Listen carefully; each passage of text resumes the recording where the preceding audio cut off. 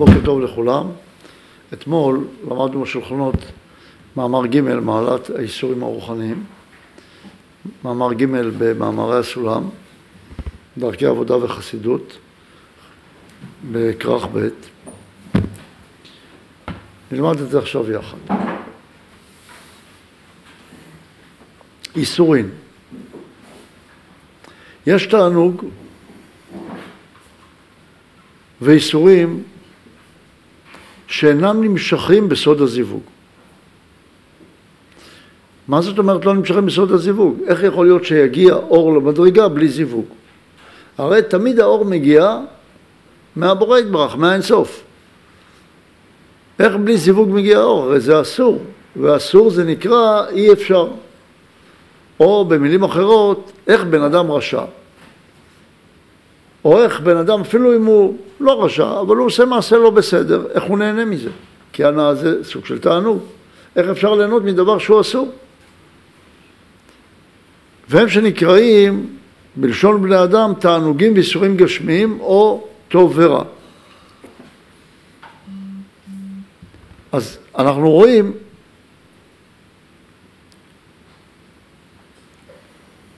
שבן אדם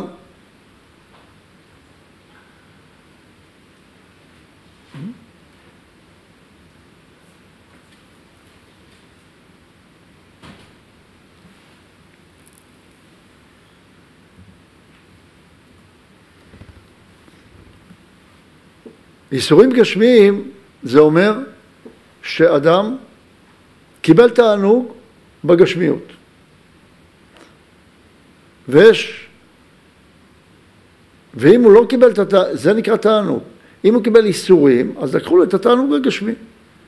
אז הוא מרגיש שאני רוצה תענוג גשמי ואין לי, זה נקרא איסורים. כלומר, בן אדם אומר, אני רוצה להיות בריא ואני לא בריא. ויש תענוג ואיסור רוחני.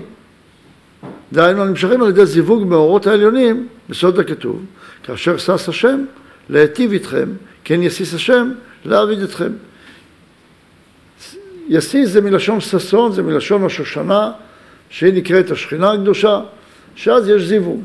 כשיש זיווג, אז זה נקרא דברים רוחניים. וכשאין לי את הדברים הרוחניים האלה, את התענוג הרוחני, את הידיעה הרוחנית, זה נקרא איסורים. אז עכשיו אדם צריך להסתכל, ממה הוא נהנה וממה הוא סובל בחיים.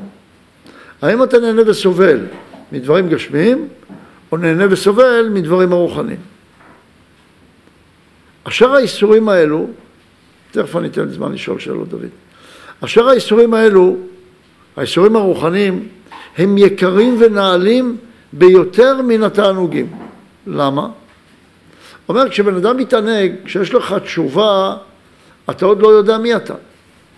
אתה, השאלה, אומר, יש לה חשיבות מאוד מאוד גדולה מבחינתך, מצד השותפות שלך, יותר מהתשובה.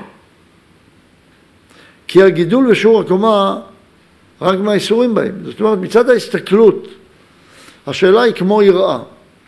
היראה, דהיינו, יראת השם יותר גדולה אפילו מאהבת השם, מצד העבודה.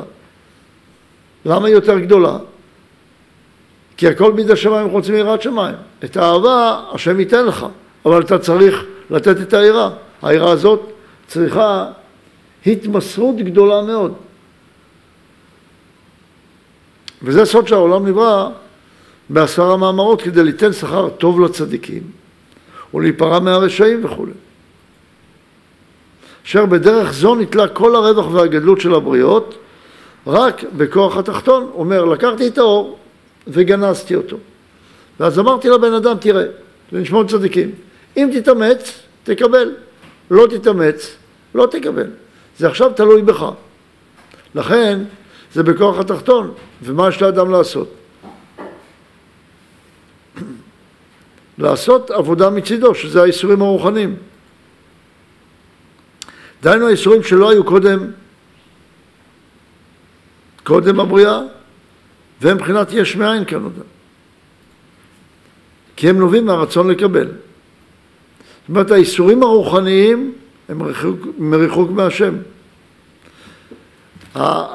הכאב הזה של האדם, בחינה של הרגשות השליליים של האדם. האם, האם זה דבר אמיתי או דבר לא אמיתי?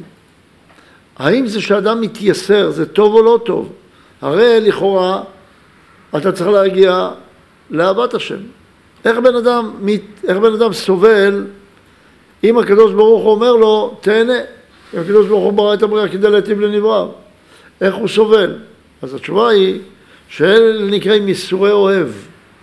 הייסורי אוהב זה לא בחייה על עצמו, למה אני לא אקבל את הרוחניות, למה אותי לא יאהבו, למה לי לא יהיה נחמד בחיים, זה ייסורים גשמיים.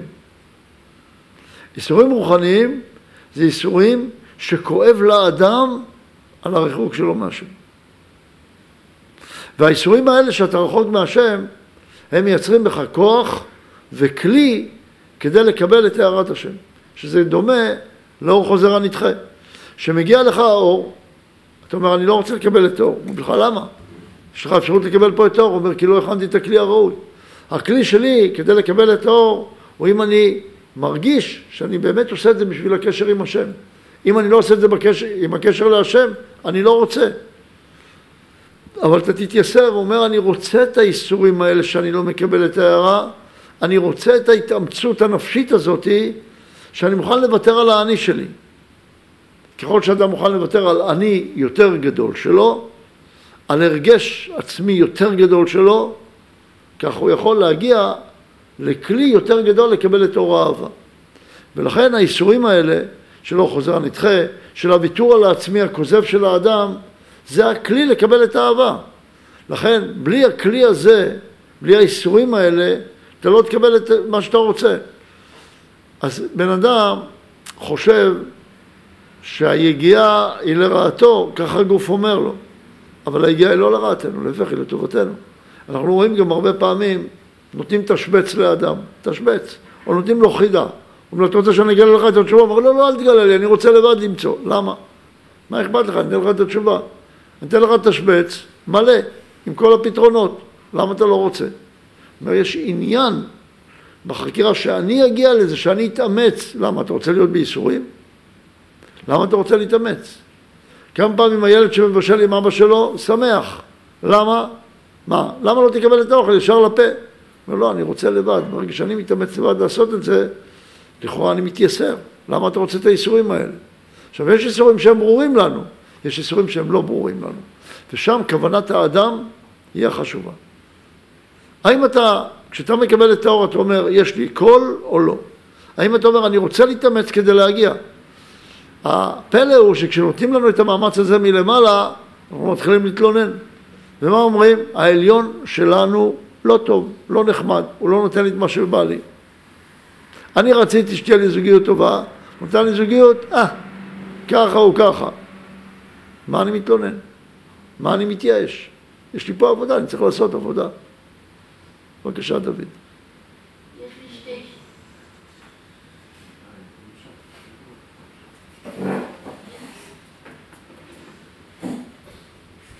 יש לי שתי שאלות.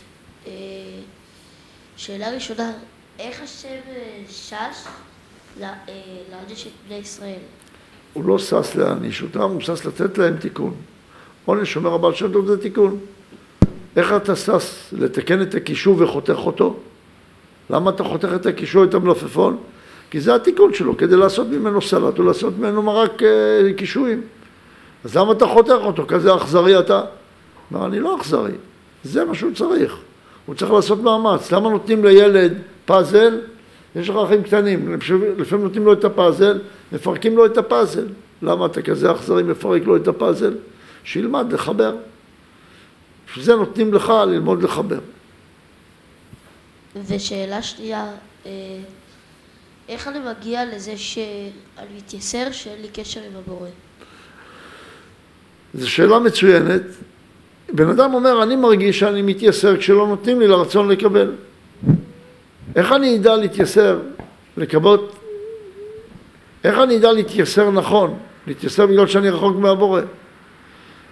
התשובה היא, אם אני אעשה פרסומת לכך שהבורא הוא חשוב, איך, איך עושים פרסומת? מדברים על זה, משבחים את זה, מספרים על זה, מצמידים את זה לדברים טובים. למשל, ואז מתאמצים בשביל זה. לא מדברים לשון הרע על הבורא. כל מה שקורה אומרים לבורא שהוא דבר טוב, שברוך השם עשה את זה, ואלה הדברים הטובים, מפרסמים כמה דברים טובים עשה השם בעולם. ואיתו אני רוצה להידבק, כמה השם הוא גדול בעיניי. איפה אנחנו עושים את זה? בתפילה, איפה עושים את זה? לא, לא בקריאת שמע. איפה עושים את זה בתפילה?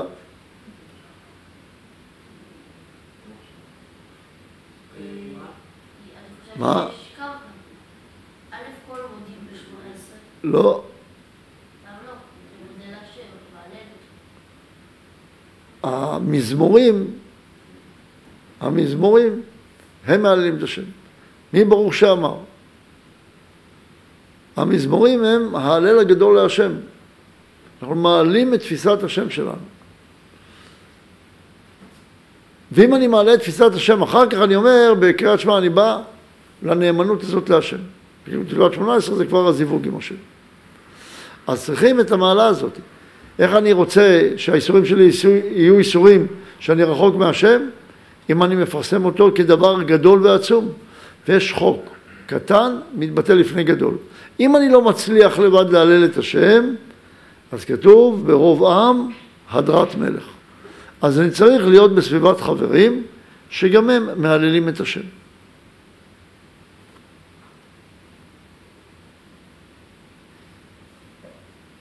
בבקשה, נוראי.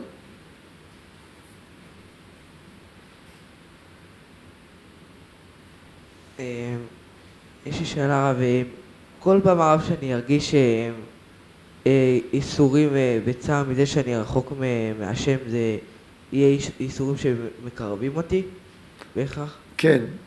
כל פעם כשאתה מרגיש רחוק מהשם זה בתנאי שלא תתלונן ותיקח את זה למקום עבודה. אם אתה מתלונן, אז אתה נופל. ואז אתה הופך את זה לדברים גשמיים ואתה תלך ללכת לקבל תענוג גשמי. אם אתה תראה את זה כאיסורים רוחניים, הסימן שאתה רואה את זה כאיסורים רוחניים, זה זה שאתה תקבל על עצמך עבודה להשיג את הקשר עם השם. ולא לילל. מי מייללת? חתולה. חתולה. לילית הרשע. חתולה. אז לא להיות חתולה. להיות אריה. כמו תלמידי רבי שמעון. אריות היו. כן, ניסן.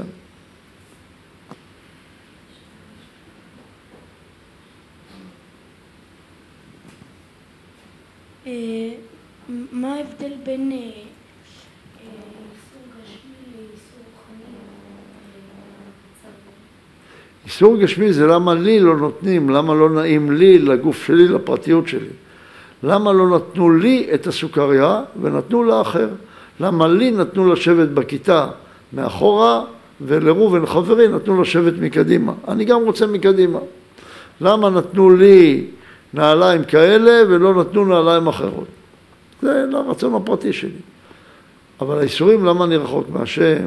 למה אני לא תלמיד חכם? למה אני לא מרגיש שאני אוהב את כל אחד מישראל? זה האיסורים רוחניים. כן, דוד.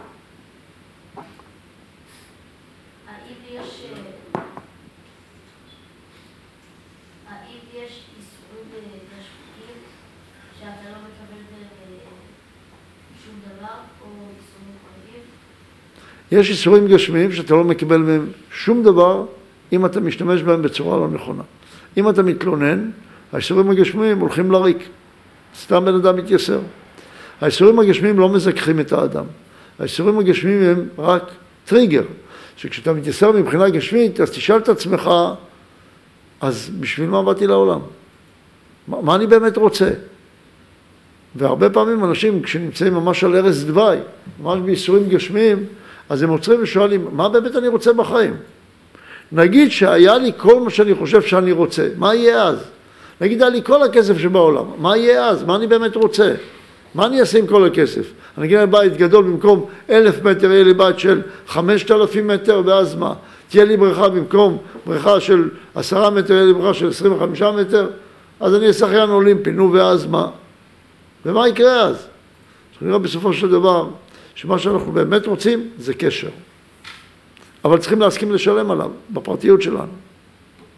לא רק את האור, צריכים לבקש לעשות בזה עבודה.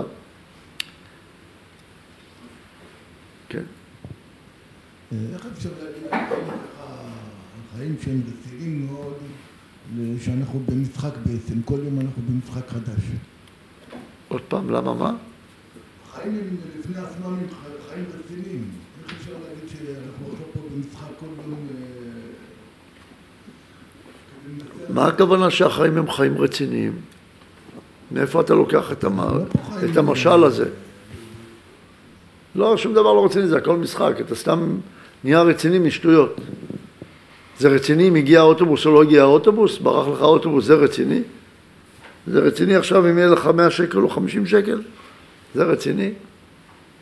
זה רציני אם הבן שלך עשה ככה או עשה ככה? זה לא רציני. סתם אתה עושה רצון גדול מדבר קטן. רציני זה אם אתה רחוק מהשם, זה רציני. רציני זה אם אין לך חשק ללמוד תורה, זה רציני. שואל, שואל קרבי, שואלים קרבי, איסורים רוחניים מתקיימים תמיד באדם עצמו? מה זה באדם עצמו? אה, כיחיד? תמיד זה האדם, הוא זה שמרגיש, אז במי זה יתבצע? האם קיימים איסורים רוחניים בציבור, בכלל משותף? כן, מי שמרגיש את הציבור יכול להרגיש איסורים רוחניים על ציבור. תמיד האיסורים הרוחניים האמיתיים הם על הציבור ולא על היחיד. היחיד צריך להרגיש את הציבור. אם היחיד מרגיש את הכלל, אם האיסורים שלו הם על עצמו, על הפרטיות שלו, ולא על הכלל, זה כנראה לא איסורים שמקרבים אותו להשם. כן, עדיאל.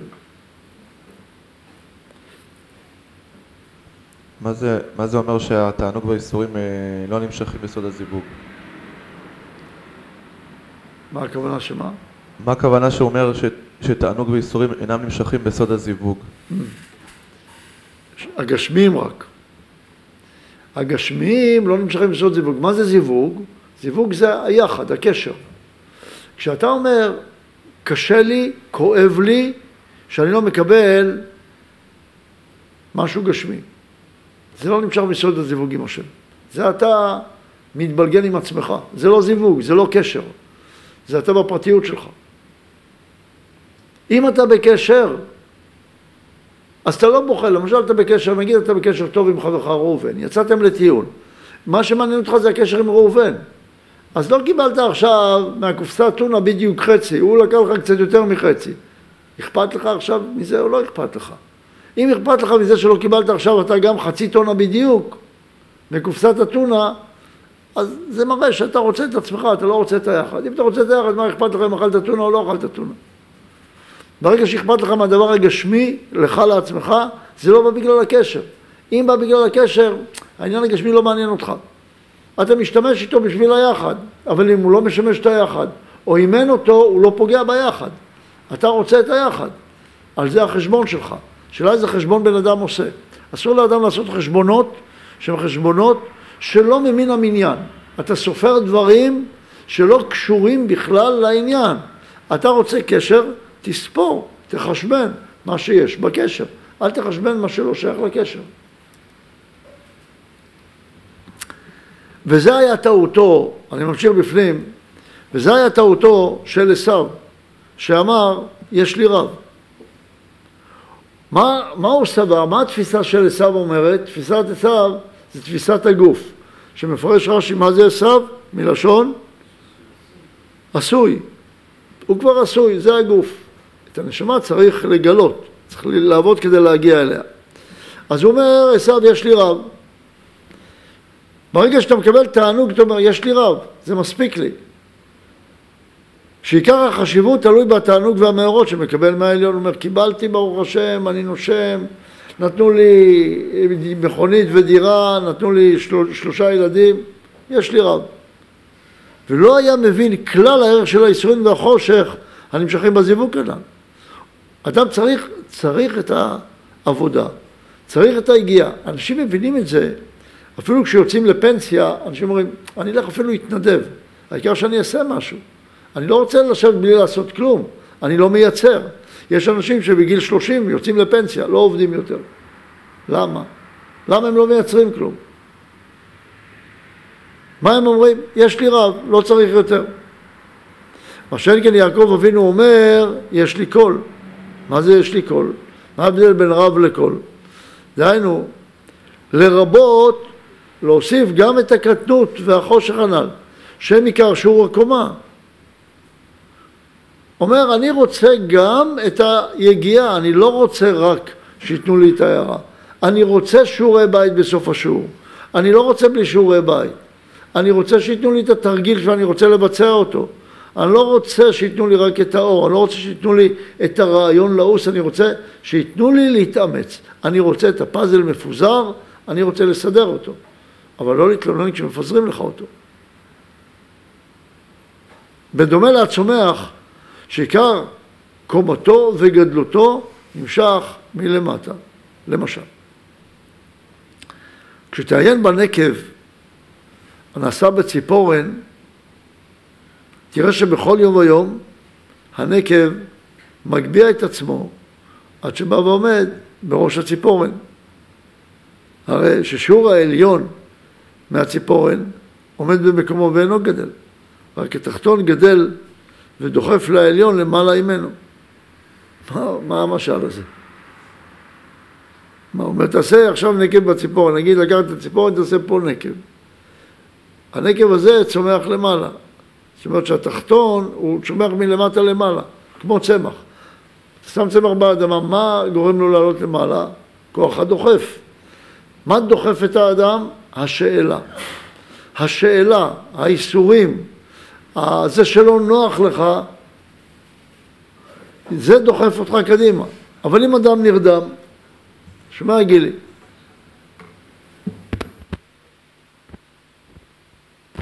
כן, אם אדם נרדם,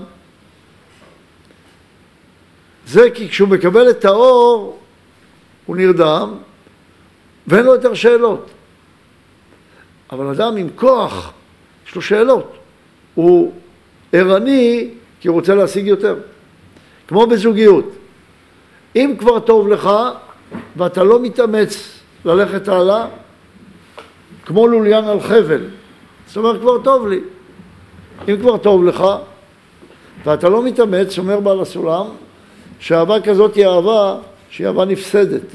אם בן אדם כבר לומד תורה ואומר, טוב, מספיק, אני למדתי, אני כבר תלמיד חכם. אומרים לו, לא, לא טוב אתה עושה. אתה צריך תמיד לחקור וללכת קדימה. רגע, אז אמרו לי, רשעים בכלל נקראים מתים. למה הם נקראים מתים? מה אומרים עליהם אוריה? יש לו מנה, רוצה 200, יש לו 200, רוצה 400. מת ו... וחצי תאוותו בידו, נכון. מת וחצי תאוותו בידו. למה? אז אם הרשע כל הזמן רוצה עוד ועוד ועוד, אומרים יש לך 200 שקל, אתה תרצה 400, יש לך 400, יש לך מיליון, תרצה 2 מיליון, יש לך מיליארד, תרצה 2 מיליארד. אבל עכשיו אומרים לי, גם צדיק צריך ככה, תמיד צריך לשאוף לי יותר. אז מה ההבדל? אז תמיד אני צריך לעבוד. הרבה שואלים, טוב, כמה, כמה נעבוד? מתי כבר תיגמר העבודה הזאת? אומר, אל תגיד ככה. אם העבודה היא למען הקשר, אתה צריך לרצות את העבודה הזאת. ההתקדמות בסוף תהיה למצב שאתה עושה את העבודה וזה היראה שבמסגרת האהבה. כל הבעיה הגדולה שכשבן אדם מגיע לאהבה הוא חושב שהוא צריך להפסיק להתאמץ. שהוא מרגיש, זהו, כבשתי את היעד. הרבה גברים מתנהגים ככה. כבשתי את היעד, כבר פתה מונחת בסלי. אתה צריך להמשיך להתאמץ כל הזמן, גם אם הגעת למדרגה. אתה כמו לוליין על חבל, תמיד צריך ללכת קדימה, אתה עומד במקום, אתה עלול ליפול. כן.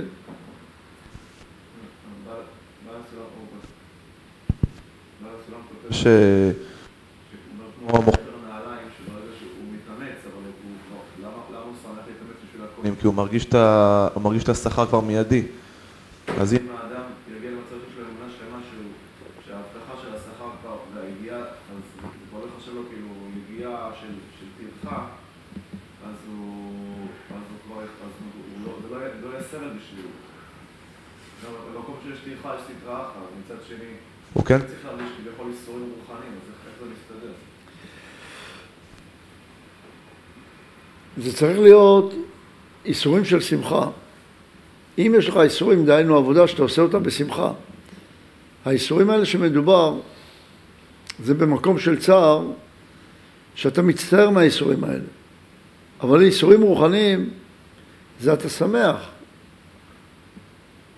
אתה אומר לילד שלך, לך תביא לי כוס מים. הילד שמח או לא שמח להביא? זה סתם, הוא צריך עכשיו לקום מהכיסא, ללכת עד הברז, להביא לך מים. למה הוא רוצה את המאמץ? הוא אוהב, זה מאמץ, אבל הוא אוהב את המאמץ. זה איסורים, אבל זה איסורים שבאים באהבה, כי הם באים, כי הם איסורי אוהב. אבל אם איסורים שונא, איסורים של עבד, אז הוא סובל, הוא אומר, מתי זה ייגמר לי כבר? אז השאלה היא, כשאומרים לנו שבסטרא יש את אותו צער, אז זה, זה מצד האיסורים שבאים עם יללה, או איסורים שבאים מאהבה, הם לא בסטרא אחרא. אתה צריך להיזהר שהסטרא אחרא לא תתפוס אותך כשחסר לך. כשלא בא לך לעשות משהו, אז האיסורים האלה יכולים לתפוס אותך חזק. מה? של קרבי? זה ענינו על זה כבר.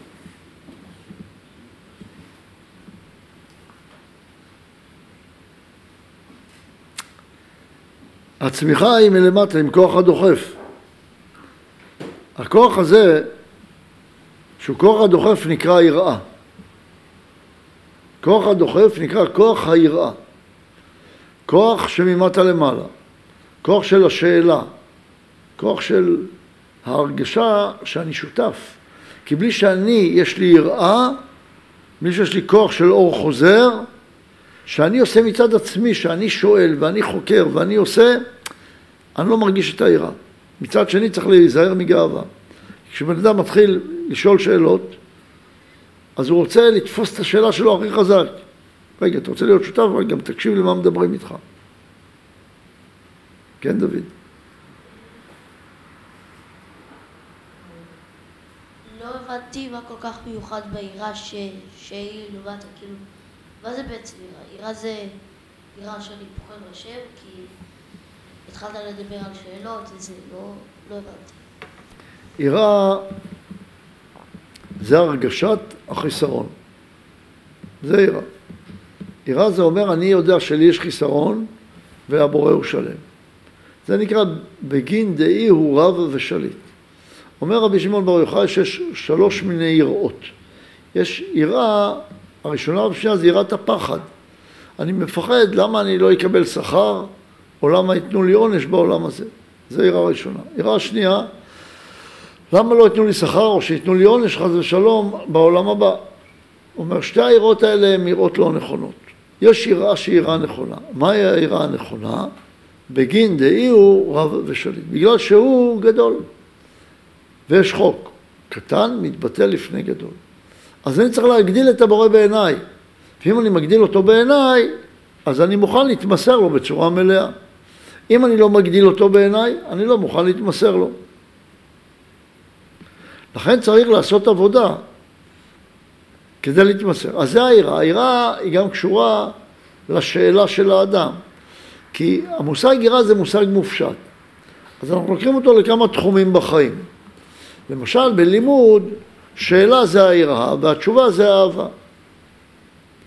למשל בספורט, היגיעה שאני עושה בספורט זה היראה, ומה שאני מקבל אחר כך בריאות מהספורט זה אהבה.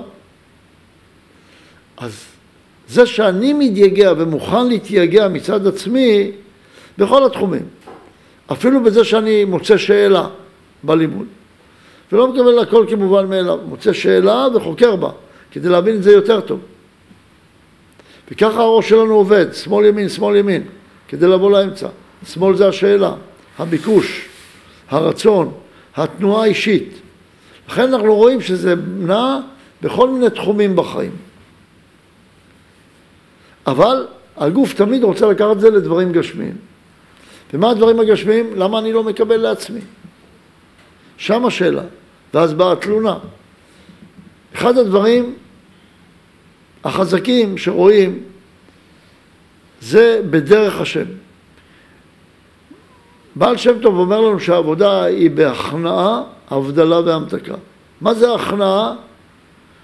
שאתה מוכן לקבל על עצמך שהעליון הוא מוביל אותך. הרצון שלי כבר לא חשוב, מה שהוא יגיד לי, ככה אני צריך לעשות, לחשוב, להתנהג, לדמיין, להרגיש. אבל אם אני לא רוצה, אם הוא יגיד לי משהו שאני לא רוצה, ולא עבדתי נכון את ההכנעה, מה אני אעשה? מה עושה בן אדם שהעליון, המדריך שלו אומר לו תעשה ככה והוא לא רוצה? מה? הוא רוצה להכניע את העליון, שהוא יהיה, שהוא יהיה השולט. נכון, הוא אומר אני אגיד לך איך לתקן אותי. אתה אל תעשה ככה, תעשה ככה. ככה אומר לקדוש ברוך הוא, ככה אומר לרב שלו. תלמיד שגלה, גלה רבו עמו. אומר לו, הרב, טוב, אבל הוא לא כל כך מבין. הוא לא כל כך מבין בדיוק מה לעשות.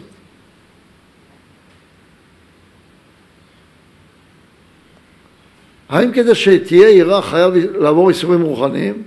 בוודאי. אם אדם לא, בדרך חייב להרגיש איסורים. ואחר כך, כשמקבלים את ההערה, מרגישים שהאיסורים האלה היו כדאיים, הם הכלי כדי להחזיק את האהבה. אבל אם לוקחים את האיסורים האלה והופכים אותם לתלונות, שהעליון הוא גרוע ולא טוב ולא מבין ולא בדיוק הולך בצורה של חסד, כי למה הוא עושה שואה, למה הוא עושה כאלה דברים? ואז אנחנו מידרדרים ומידרדרים וממשיכים להאשים את העליון ומידרדרים ומאשים את הקדוש ברוך הוא והולכים לדברים גשמיים ומאשים את הקדוש ברוך הוא והולכים לתענוגות הפרטיים שלנו ומאשים את הקדוש ברוך הוא. אז הוא אומר אני לא מבין אתכם. אם אני כל כך לא טוב אז תלכו, לא צריך אתכם. אתם צריכים אותי, לא אני צריך אתכם אז תלכו, תעשו מה שאתם רוצים לו עמי שומע לי כמעט אויבי מכניע אתם לא רוצים ילכו במועצותיהם. יש לכם, יש לכם עצה מעצמכם, תעשו מה שאתם רוצים, בשביל מה אתם שואלים אותי? שאלו אותם הקדוש ברוך הוא.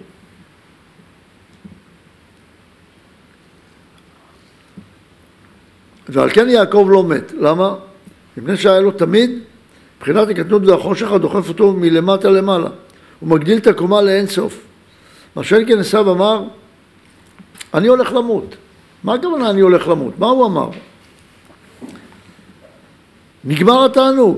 הוא אומר אין אהבה, הרי אין אהבה בלי יראה, אומר אני אוהב, זהו, נגמר. נגמרה לי האהבה הזאתי, אין לי יותר. הוא אומר למה? תעבוד עוד. מפני שחסר לו כוח הגידול והצמיחה כנ"ל. בסוד יש לי רב. אז אדם צריך תמיד לעבוד, ללכת קדימה. מה הכוח הדוחף? שאני מרגיש שחסר לי. מרגיש שאני רוצה עוד להתקדם. זה נקרא כוח הצומח שבאדם. ובלי כוח הצומח הוא נשאר כמו דומם, דומם הוא לא חי. כאילו הוא הגיע לאהבה והוא כבר במצוות אנשים מלומדה. למה אתה עושה ככה? אני רגיל. למה אתה הולך עם כיפה? אני רגיל. למה אתה מניח תפילין? אני רגיל. למה אתה נושא לאשתך לרותי? כי אני רגיל אליה. אם אתה עושה כי אתה רגיל, הפכת להיות דומם. אתה לא מרגיש כוח של צמיחה? אתה לא רוצה להתקדם בחיים? לכוח הזה אנחנו רוצים לכוון, לכוח הגדילה הזאת. בהקשר לתחילת המאמר, שכותב שיש תענוג ואיסורים שאינם נמשכים בסוד הזיווג. אז מאיפה הם נמשכים? אנחנו אומרים שאפילו אה, גנב שגונב, התענוג מהגניבה זה גם מגיע מאיזשהו אה, מקום עליון, רק שעכשיו פה זה קיבל צורה לא נכונה. האם זה בכלל אין זיווג או רק יש זיווג, רק זה לא סוד הזיווג? מה, מה זה שם? אנחנו מדברים מצד ההתפעמות של האדם. כשאדם נהנה מגניבה. אז אנחנו אומרים שתמיד התענוג כמו צד הנשמה, אבל הקליפה תפסה את הנשמה.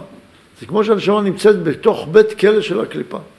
אין זיווג, הכוונה שהגנב לא מרגיש בגלל קשר עם השם כואב לו. אם הוא לא יצליח בגניבה שלו, עכשיו יש לו איסורים, והלכתי לגנוב 100 שקל, ולא הצלחתי לגנוב את המאה שקל האלה. אז יש לו איסורים, למה לא הצלחתי? האיסורים האלה שלו, למה לא הצלחתי, הם לא בגלל קשר, הם בגלל עצמו, אז זה לא בגלל זיווג. או אם הוא הצליח לגנוב, הוא אומר, גנבתי את המאה שקל, והוא שמח. איך יכול להיות שמחה של תענוג שהיא באה בלי זיווג? הרי אם לא היה זיווג לא הייתם מקבל אור. הוא אומר, זה נכון, יש זיווג, אבל זיווג שהלך לקליפה, כמו בשבירת הכלים. ולכן זה לא נקרא זיווג, כי הוא לא בא בגלל הקשר. הוא לא בא בשביל הקשר. האם, האם מצד. הרי זיווג או לא זיווג זה במקומות עליונים, זאת אומרת במקומות רוחניים עליונים. האם היה זיווג רק האדם עצמו עכשיו קלקל משהו, או שבגלל שמצידו מראש המעשה לא נכון, אז גם מלמעלה זה בכלל לא... לא היה זיווג. לא היה זיווג. לא היה זיווג כי היה כמו בית קווים. כמו בית קווים מקבילים, כל אחד לקח את זה כאילו באו לקשר, אבל זה כמו קוף בפני אדם. עשה זיווג, אבל רק מצד הגוף. אם עשה את זה רק מצד הגוף, למשל אכל תפוח, אכל תפוח רק כי טעים לו. זה לא זיווג. זה סיפוק אישי. סיפוק אישי זה לא זיווג. סיפוק אישי זה ללכת לא לקשר, אלא לגנוב. לגנוב את האור. זה לא בגלל זיווג, לא באתי בגלל קשר. וזה נקרא גניבה. אני מבין שהשאלה שלך היא כזו, איך יכול להיות שיינתן אור אם אין זיווג? והתשובה היא שזה ניתן בינתיים, שזה ניתן מלמעלה כדי אה, לתת לאדם גם את האפשרות לטעות, מתוך בחירה. ומלמעלה זה לא זיווג? מצד... זאת אומרת, אחרת אנחנו אומרים כאילו יש מציאות של... אה, אה, כאילו בשורש, זה נראה שאם אנחנו נאמר ככה, אז אנחנו אומרים כאילו יש אה, אל טוב ואל רע בעצם. לא. אה, אם אנחנו נאמר ככה, אז אנחנו נאמר שיש אור שהתחתון יכול למשוך לבד. וזה לא יכול להיות כי כל אור בא מלמעלה. ואם אור, כל אור בא מלמעלה, אז אני חייב להגיד מצד זה שהכל בא בזיווג, זה לא משנה אם זה תענוג שבא מגנבה או תענוג שבא מלימוד תורה. אז לפי זה צריכים להגיד שכל אור בא בזיווג. אז איך אנחנו אומרים שזה אור שבלי זיווג? תשובה, אנחנו מדברים ממטה למעלה. ממטה למעלה מצד הרגש האדם, הוא לא מרגיש שהוא עושה את זה בגלל זיווג. אם הוא לא מרגיש את זה בגלל זיווג, הוא לא מצוי בזיווג. זה שמלמעלה לא יכול להיות שיגיע אור בלי זיווג מצד העליון, זה ודאי. ממעלה למטה, תמיד יש זיווג שמגיע אור. ממטה למעלה, זיווג, או אור, גש, אור שבא לנקודה גשמית, הוא בלי זיווג.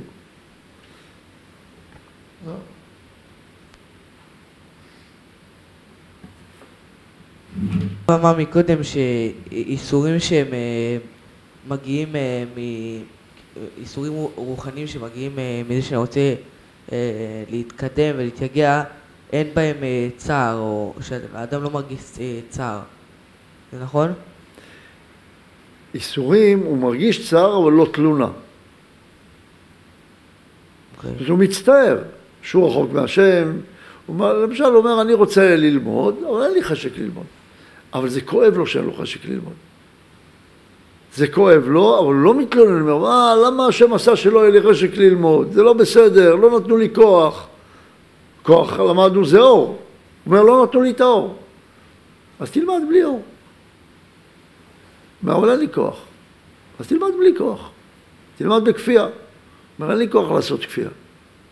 אז תעשה כפייה בלי שיש לך כוח לעשות כפייה. אומר, אי אפשר בלי כוח. אפשר. אפשר, אפשר במאמץ. יש לך כוח לעשות דברים אחרים? אותו כוח, תשקיע פה. למה יש לך כוח לרוץ עכשיו אחרי הכדור ואין לך כוח לרוץ להביא כוס מים לחבר שלך? כוח יש לך, רק השאלה איפה אתה שם אותו. יש לך בחירה. אם יש לך בחירה, תבחר לשים את הכוח הזה במקום הנכון. אז אנחנו מסכמים את מה שלמדנו. אמרנו שיש מעלה גדולה לאיסורים רוחניים. למה? כי איסורים רוחניים הם כלי לאהבה, כלי לאהבת השם. זה שבן אדם בדרך מתייסר, מתייגע, כואב לו שהוא רחוק מהשם, יכול לבכות להשם שכואב לו שהוא רחוק ממנו, זה כלי לקבל את ההערה. אבל מתי? שהוא עשה הרבה מעשים לפני כן, ואם הוא יודע שהקדוש ברוך הוא אמר לו לעשות משהו, והוא לא יעשה, האיסורים האלה לא יהיו אמיתיים. כי אם אתה מתאמץ להגיע לדבקות בהשם, ואתה לא מגיע, אז יש לך מקום לבוא ולהרגיש את האיסורים האלה למה אני רחוק. אחרת זה סתם, זה כמו בן אדם מתייסר, למה אין לי עכשיו כיסא לשבת? הנה, יש פה כיסא, לך תיקח, אומר לו, אין לי כוח. אז אתה לא באמת מתייסר. אם תתאמץ לקחת כיסא וכולם לקחו לך את הכיסאות ותרוד, אז, אז זה יראה איסורים אמיתיים. אבל עיקר מה שאנחנו לומדים, שאדם צריך כל הזמן לרצות להתקדם ולהיות באיסורים, בשאלות, ברצון, ללכת תמיד קדימה. זה לא אומר שאין לנו שבתות בינתיים.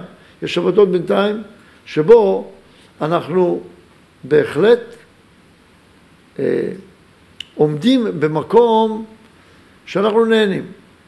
אבל רוב השבוע, ששת ימי השבוע, זה רק מתנה שנתנו לנו מלמעלה השבת, שמותר לנו ליהנות בדרך.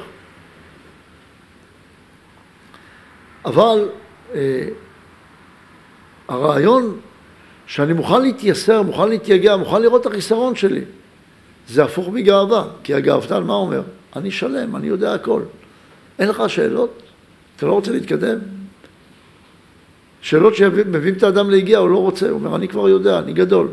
למה? למה אתה לא שואל שאלה? תנסה לראות כשחבר אומר לך משהו, תנסה לברר טוב מה הוא אומר, אל תקפוץ ישר עם מה שאתה יודע. תנסה לברר יחד איתו בשאלה מה הוא אומר. טוב, אז עד כאן היום, תודה רבה.